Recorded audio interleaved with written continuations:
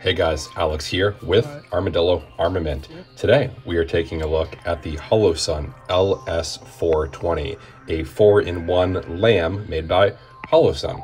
So, what is a LAM? Well, a LAM stands for Laser Aiming Module, it's a lot easier to say than saying Laser Aiming Module every time. And the 4-in-1 functionality with this device comes in the fact that it has both a visible laser, a IR laser, and IR illuminator, and then finally a white light like shown here. And that makes this quite a interesting unit. Now, this was originally given to me from Holosun because, well, they lost a slide of mine and they offered to either get me a new, basically, package or they could send me a unit. I was using the LS321G, which I do have a review on my channel. I recommend you take a look at for more information. But the LS420 really is a LS321G but with a white light stapled onto it.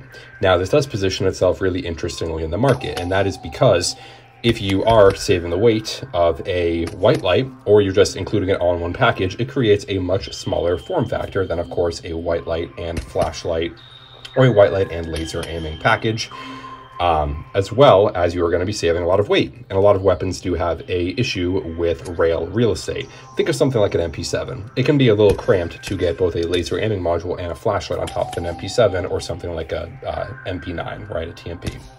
And that is where a unit like this really comes into play. Now, this does have a visible high.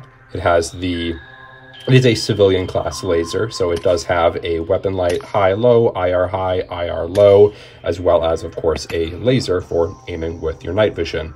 That's going to be a much greater conversation in the future. We're mostly just going to be highlighting this product.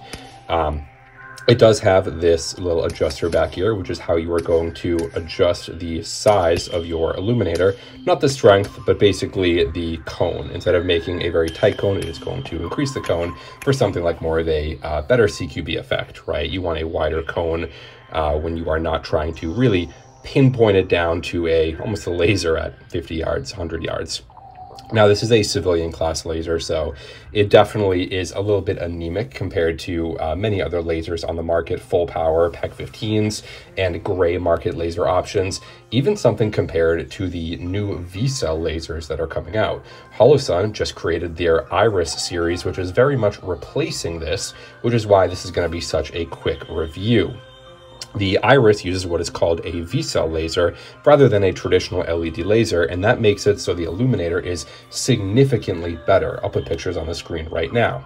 However, I still have had pretty good experiences with this laser, and I do still think this may potentially have a spot in the market as a very good budget option, because Holosun is creating their Iris 4, which is a 4-in-1 laser. I'll put a picture on the screen now this is basically an Iris 4, but a little bit gimped. It's not going to have as good as a illuminator quality, laser quality, and it's also going to be much heavier.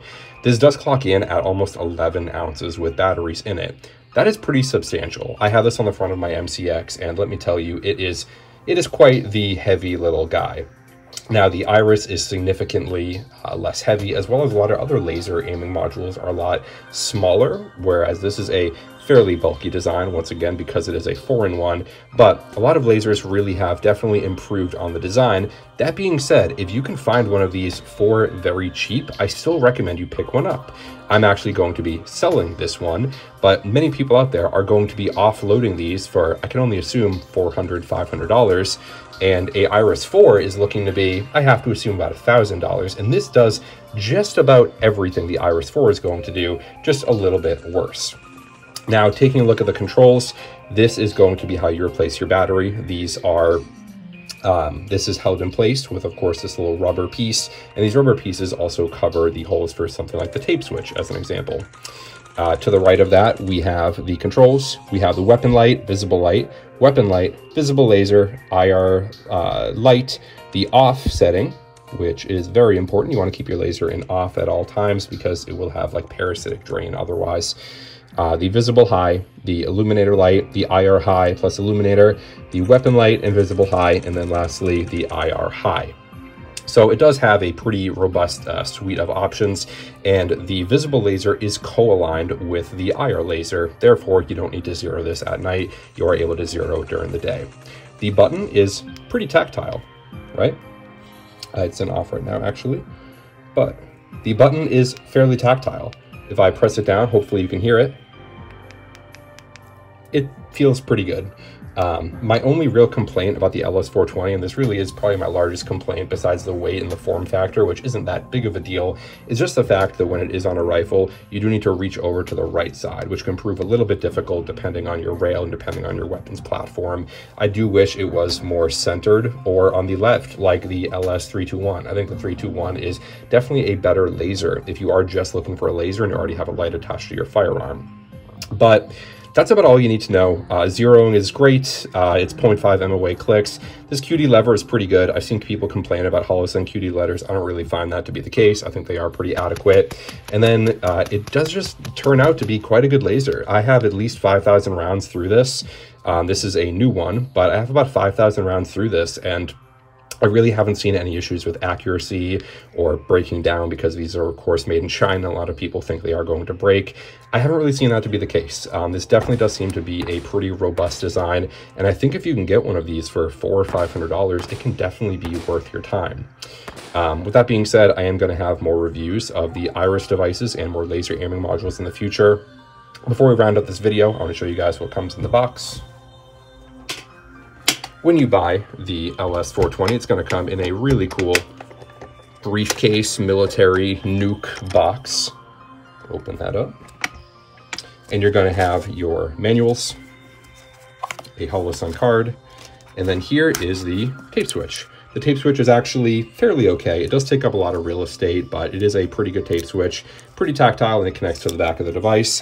And then Lastly, over here, we have a very interesting feature that I forgot to highlight, and that is going to be that it does accept red dots up here. So if you are looking to put this on something like an AK, you can actually mount a red dot with these mounting holes right here, and then this plate system.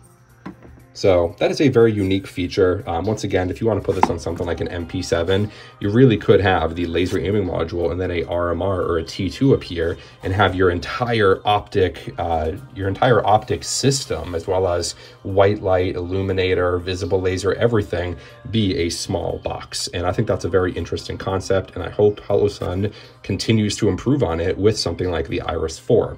Now, once again, I do only recommend you pick this up based off of uh, the price you can get it at, right? If you can get a Iris 4, those do seem to be pretty solid. I don't have time on them yet, but if you can get an Iris 3 or an Iris 4, I would obviously recommend getting that. But if you are trying to really get lasers on a budget, the LS321 and the LS420 definitely still make sense even today. All right, so really quick video. Comment down below your thoughts on the LS420 and the LS321. Tell me if you're excited about the new Iris lasers. And it's been a pleasure, guys. I'll catch you guys in the next one.